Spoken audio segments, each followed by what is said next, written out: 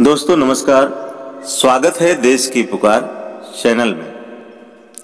दोस्तों, मैं बौद्धिस्ट विचारधारा से हूँ और भगवान बुद्ध का अन्वय हूँ और भगवान बुद्ध के विचारों से ही मुझे प्रेरणा मिली है कि लाखों लोग किसी बात को सही ठहरा रहे हों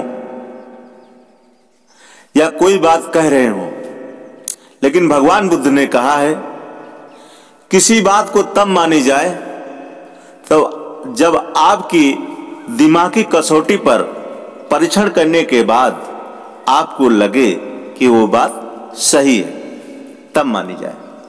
ऐसा नहीं कि वो पुस्तकों में ऐसी पुस्तक में लिखी है जिस, जो पुस्तक बहुत सम्मानित है और बहुतों द्वारा वो बात मानी गई है, इसलिए वो बात सही है, इस पर कोई सवाल नहीं उठना चाहिए।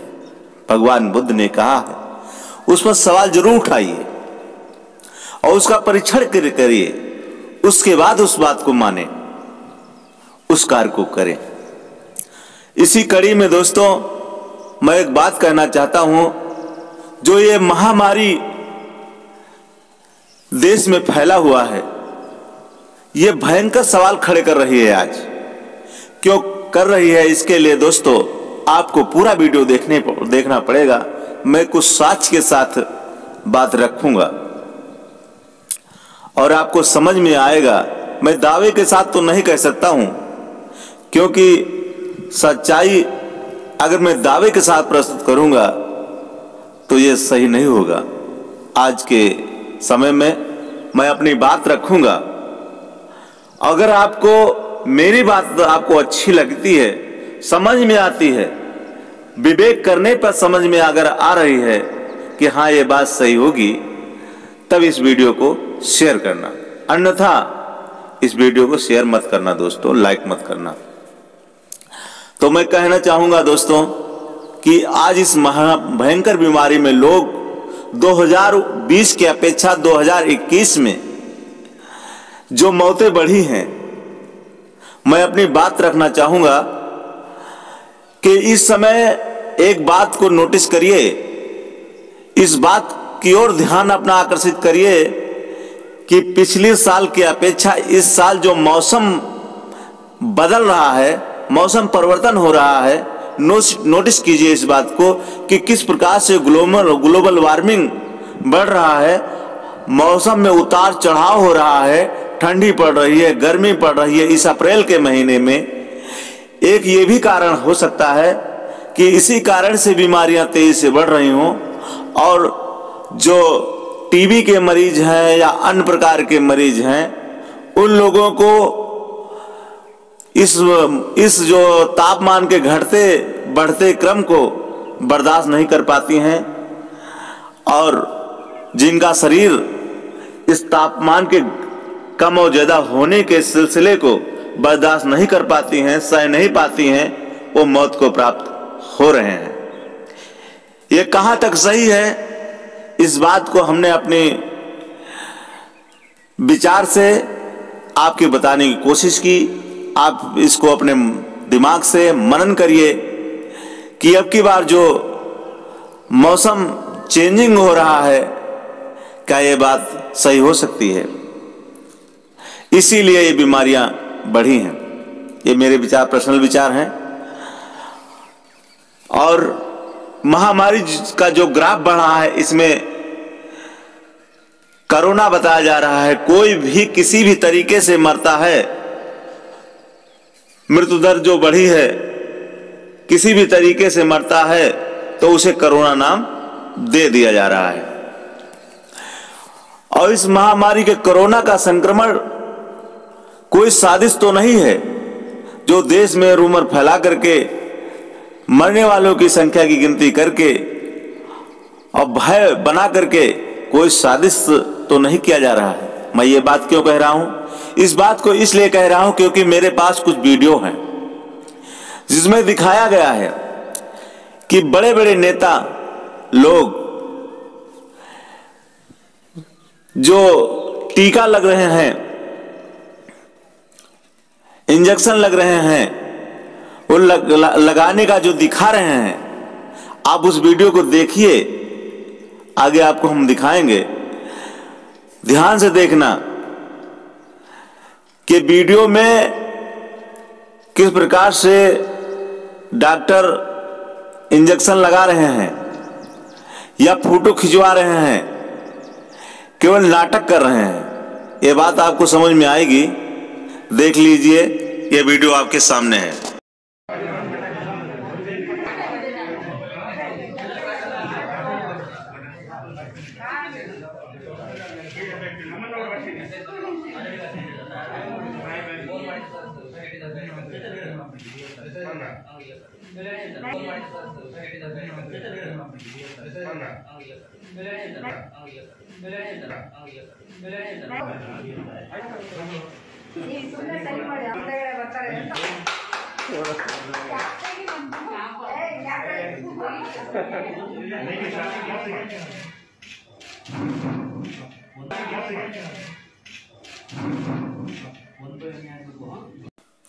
आपने देखा किस प्रकार से ये एक नौटंकी की जा रही है।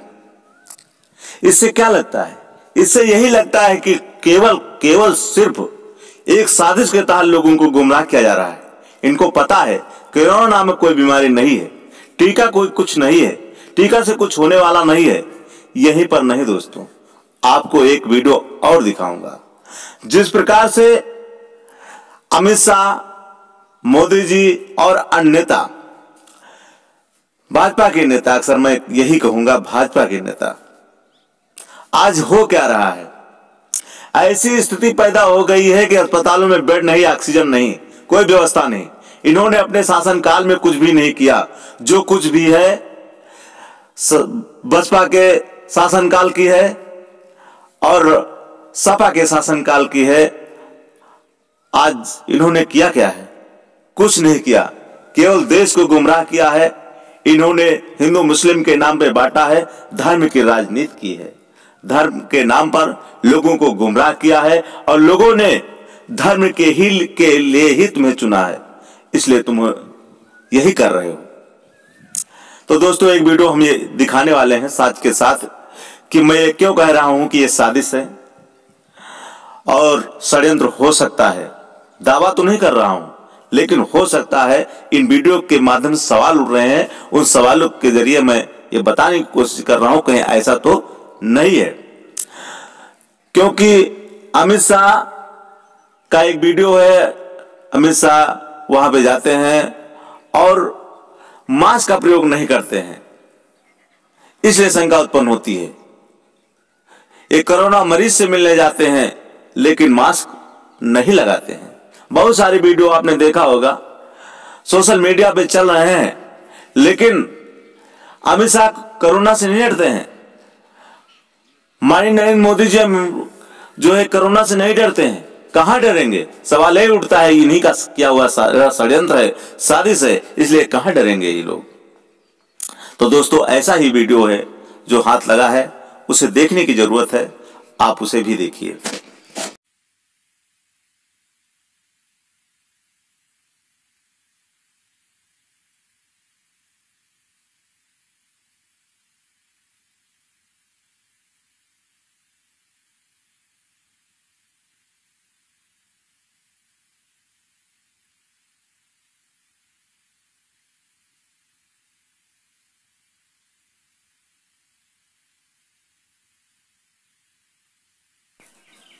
आपने देखा इस वीडियो में कि अमित शाह मास्क का प्रयोग नहीं कर रहे हैं, मास्क नहीं लगाए हुए हैं और कोरोना मरीज़ से मिलने जा रहे हैं। उनके साथ में बहुत सारे लोग हैं, वो मास्क को लगाए हुए हैं, लेकिन अमित शाह मास्क नहीं लगाए हैं और कोरोना मरीज़ से मिल रहे हैं। इस प्रकार के बहुत सारे वीडियो सोशल साइट पर वायरल हो रहे हैं, लेकिन लोग इस बात को समझ नहीं पा रहे हैं कि ये साजिश है, कि वास्तव में बीमारी है। लेकिन जो दिख दिख रहा है, उसके अनुसार यही लग रहा है कि ये साजिश है। आपके क्या क्या विचार हैं? कमेंट के माध्यम से बताएँ दोस्तों। और इस इस वीडियो को बनाने का मकसद यही है कि बौद्धिस्ट विचारधारा के लोग ये सोचते हैं और भगवान बुद्ध ने भी कहा है किसी बात को। तब माने जाए, जब वो बात परीक्षण करने पर, वैज्ञानिक तर्क तर्क देने पर सही